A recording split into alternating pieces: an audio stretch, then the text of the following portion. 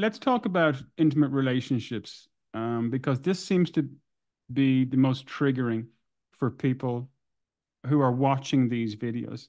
Um, the idea that you would embark upon an intimate relationship with somebody who's a narcissistic abuser, you may not know it, um, and all of a sudden you're knee deep in it. Um, would the narcissistic person have difficulty, say, pair bonding, for example, or would they just be like the rest of us? No. Forming the. As I, as I said earlier, narcissists are incapable of perceiving other people as external mm. or, or as separate. So the only form of relationship and the only form of intimacy a narcissist can have is with not even with himself because he has no self, but with structures, voices, objects inside himself. It's the only kind of intimacy, intimate relationship he can have. What he does in order to have an intimate relationship with you, he converts you into one of those objects or constructs or whatever you want to call them inside mm. his mind. He introduces you into his mind. He insinuates you into his mind. And then he continues to interact with your representation in his mind. And so the narcissist um, defines himself and regulates himself through you. And in this, the narcissist is similar to the to someone with borderline personality disorder. He uses external regulation. So, for example, if the narcissist wants to feel great about himself, he wants to idealize himself, he will first idealize you. Because if you are ideal and the narcissist owns you as an internal object, that makes him ideal. For example, a narcissist would date a, a, woman and he would say, She's drop dead gorgeous. She's the most beautiful woman I've ever seen. By insisting on this, by idealizing her, what is he saying? He's saying, I'm the owner of a drop dead gorgeous object. I'm the owner of the most beautiful thing the world has ever seen. And that makes me special. That makes me unique. So even this even the process of idealization is about the narcissist, not about you. It's like owning a, a car, a, a, flashy car, or you know, it's a status symbol kind of. Mm. So narcissists interact only with themselves through you. Narcissists also need your gaze. They need to see themselves through your eyes. So they use your gaze to regulate themselves. But this is not a safe method. So what they do they falsify your gaze. They attribute to you cognitions, thoughts, emotions, and so on that you may not have at all. So they would say, for example, oh, he admires me. He thinks I'm a genius. Maybe you think I'm an idiot. Maybe what you truly think is that I'm a blowhard idiot. But I would, as a narcissist, I would attribute to you certain emotions and, and thoughts and and beliefs and so on and so forth that are conducive to my own idealization and grandiosity. And there was no evidence to indicate that the person had those feelings in the first place. You know, it's you're a placeholder. You're just mm. a placeholder. Uh, it's uh, these there are massive processes of projection. The narcissist projects onto you parts of, of himself that he cannot tolerate, that he rejects. So you become a repository of the narcissist's bad emotions, bad object, self-castigation, self-criticism, self-rejection, self-loathing. They're all projected onto you. So if the narcissist is weak, he's not weak, you're weak. He attributes this to you. So this is called projection. Narcissist splits you. One day you can do no wrong, the next day you are you can do no right. All bad, all good, black and white. This is called splitting.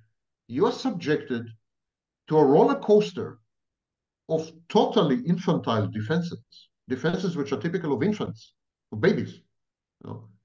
And the narcissist instrumentalizes you to the maximum. You have a job. It's a job description. It's, it's not a, an intimate relation. You have a, series of jobs. For example, you should recall the narcissist's moments of glory. And by recalling these moments of glory, you regulate the narcissist's flow of narcissistic supply. That's a job. Another job you should confirm to the narcissist that his false self is not false and that his fantasy, the shared fantasy, is not fantasy. It's another another job you have. And there are many others. And you're busy all the time. And it's exhausting, it's depleting. Because essentially you become a maintenance worker. And your maintenance job is to make sure that the fragile, brittle, breakable, vulnerable thing that is the narcissist, because it's not a self, it's a thing, mm-hmm. uh, is never impacted by reality. You're a buffer, you're a firewall. And if you don't do your job correctly, you're penalized very heavily. You're devalued, you know. So it's a transactional thing because, as you recall, the, the child who later becomes a narcissistic adult is exposed to transactional love. It's the only kind of love he knows. He associates love with performance and he associates love with pain, pain or as a punitive thing. So this is the way he constructs a shared fantasy. And you are so the, the, the base requirement from you is to not be, to suspend yourself and to reappear as a fictional character within a narrative that is self-aggrandizing and overprotective. A narrative whose main role is to prevent narcissistic injury or, God forbid, narcissistic mortification. And you are the guardian of the narcissist. That's why I have this principle of dual mothership, where the narcissist actually tells you, you're going to be my mother and I'm going to be your mother. You're the mother, you're, you're the guardian, you're the custodian of the narcissist uh, dangerous, life-threatening shame. It is your job to feed the narcissist with so much misinformation and fake news that will prevent him from ever getting in touch with his internal shame which could destroy him and kill him. So that would be narcissist. That's what they call narcissistic supply, right? Yes, that's narcissistic supply. And uh, you would be a source of narcissistic supply. And the narcissist would use the narcissistic supply to regulate his internal environment and to buttress the, the fortress that he has constructed around the shame, isolating it somehow. It's mainly shame. There are other negative effects, other negative emotions. Ilse Ronningstam mentioned them, like anger, envy, and so on. Narcissists are not capable of positive emotion at all. Not even one of them. Not love, not forget about all this. They're capable only of negative.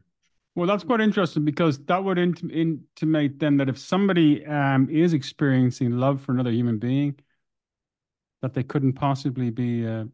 Unfortunately, we're heavily dependent on self-reporting. Mm. How would you verify that what this person is experiencing is love? There's no objective test or anything. It's totally one of the one of the funny things you see online doing any research on narcissism is that people are always wondering: Are they themselves narcissistic or clinically narcissist? Um, and one way to offer yourself comfort would be to remember the times that you did experience um, a deep sense of love, or you are, if you are perhaps you are in love how with somebody. You know, how do you know that it was love? How do you know that you do not mislabel something else? For example, yes. dependency. Yeah, dependency is often mistaken for love. It's a problem with the with emotions because we utterly depend on self-reporting. The thing is that narcissists firmly believe that they experience highly intense love. If you talk to the narcissist, he's going to tell you, "I love the way no one else can love." I love so deeply and intensely and profoundly that I doubt anyone else is capable of this. So they insist that they are capable of loving and that they've experienced love and that they are offering love and that they are creatures of love and everything. They masquerade as borderlines, actually. But what the narcissist labels love has nothing whatsoever to do with love. Not even, it's like not a Venn diagram where there's something in common. It's like two circles. It's nothing whatsoever. What the narcissist labels as love, as love is a process known as narcissistic elation. It's uh, an oceanic feeling of merging and fusing with a mother figure who then aff affirms the narcissist's grandiosity, the narcissist's perfection, the narcissist's lovability. So this is called narcissistic elation. It's the merger or fusion, symbiotic, with a mother figure, or with a real mother, by the way. When the infant reacts to a real mother, that's narcissistic elation. And narcissists misidentify this as love. And when you dig deeper with narcissists, which I've been doing for 30 years, when you dig deeper with narcissists, you come up across paradoxes of thinking and so on. So they would tell you, uh, they, I know I'm in love because of the way it makes me feel. you ask them, how do you know you're in love? Oh, because I've never felt this way. But wait a minute, love is not about you. Love is about the other person. True love is about the other person. It's more about how you make the other person feel, not yourself. Narcissists are takers. They measure everything in terms of give and take or take and take and performance. So when the narcissist chooses what you might call erroneously an intimate partner, I call them insignificant others. When the narcissist chooses an insignificant other, it's not because of who she is.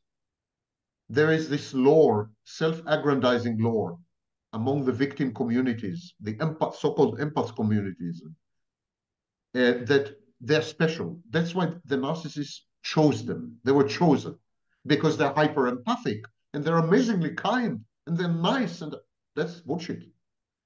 Narcissist does not choose the partner on the basis of who she is. Uh, narcissists don't do empathy. They wouldn't identify empathy if it fell on their head. So narcissist chooses you because of what you can give him. Narcissists are looking for sex, supply, sadistic and narcissistic, safety, object constancy, your constant presence, even addiction, I would say, to the narcissist. So safety and services. If you give the narcissist two of these four, sex and services, services and safety, any two, you qualify. You could be tall or short, dark or blonde. You could even be a psychopath. You could even be another narcissist. It's meaningless. They don't care who you are. They care you're a service provider. Like I don't care who owns my internet service provider. I just want the internet flowing through my, you know, computer. So it's a highly performative and or performance-oriented, goal-oriented approach. And the, but the victims feel so commoditized. They feel so marginalized. They feel that they've been so interchangeable and dispensable that they react with a narcissistic defense. They say, it's not true. I was very special to him. I was empathic. I was nice. I was kind. I, I loved him. I, you know, I saw through. I saw. I saw his inner child.